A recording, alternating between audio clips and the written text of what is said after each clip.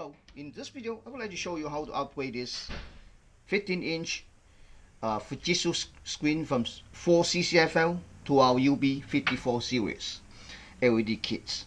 This kit comes with two LED strips, coupled aluminum foil, LED driver, one wire harness. Let's set aside the kit for a second. Uh, take a look at the screen. Again, this screen is made by a uh, Fujitsu.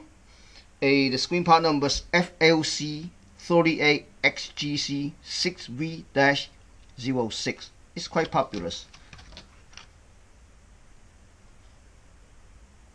Okay. to upgrade from CCFL to UB54 uh, series, it's really simple. It's much simpler than a uh, just replace a CCFL. There's two screws and holding the reflectors. So let's just try one first. Unscrew it grab the screen, grab the wire, just slightly pull out. See this? Easy. Oops. Okay, take a look at this uh, reflectors. Fret. Check it out. Perfect. We can mount it right back because the be careful one end is not flat the other end so we're gonna mount it close to this side okay so it's really simple. Just remove it.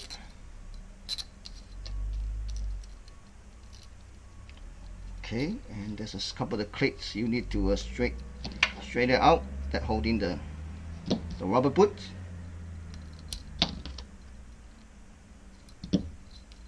here you go see that? This end you just be careful. Just open it a little bit tilt like this. It's done. Okay so says you know uh, you don't have to test it because when we ship out we test it already. So just before you peel off the double side tip you see this one is round so when you mount this one you try to close this side. Okay? So this side which is this side. Okay so let's see. That looks good. Okay. So peel off double side tip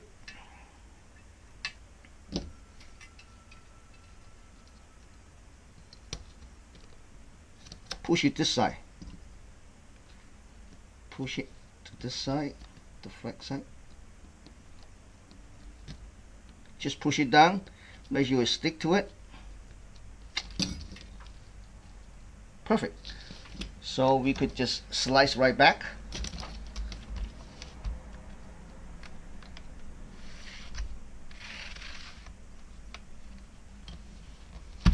Put better screws